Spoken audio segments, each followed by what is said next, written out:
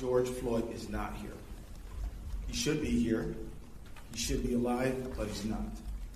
About nine days ago, the world watched Floyd utter his very last words I can't breathe as he pled for his life. The world heard Floyd call out for his mama and cried out, Don't kill me.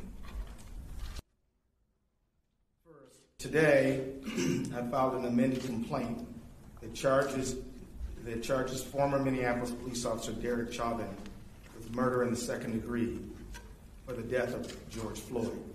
I believe the evidence available to us now supports the stronger charge of second degree murder. We've consulted with each other and we agree. Second, today arrest warrants were issued for former Minneapolis police officers uh, J.A. Kueng, Thomas Lane, and Tou Thao.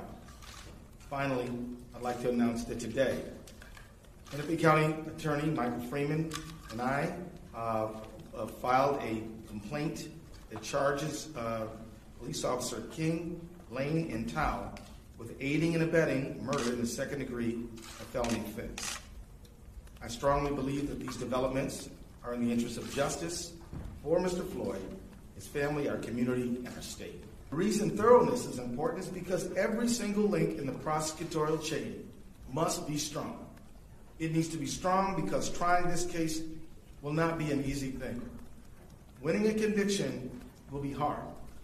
In fact, County Attorney Freeman is the only prosecutor in the state of Minnesota who has successfully convicted a police officer for murder.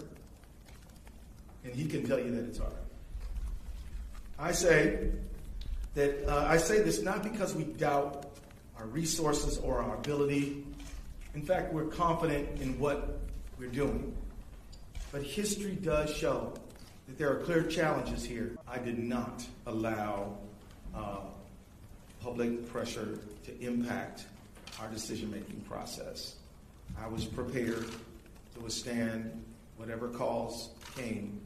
Uh, we made the charge. We made these decisions based on the facts that we have gathered uh, since this matter occurred, uh, and made the charges based on uh, the, the, the law that we think is applies. Let me be honest here. I mean, our country has had has under prosecuted these matters uh, in Minnesota and throughout the country, and so I think the trust is a result of historically not holding uh, people who are public guardians uh, accountable uh, for their behavior in situations where we should have.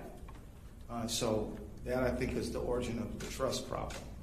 But we can't we can't control the past. All we can do is take the case that we have in front of us right now and do our good faith best to bring justice to this situation, and we will.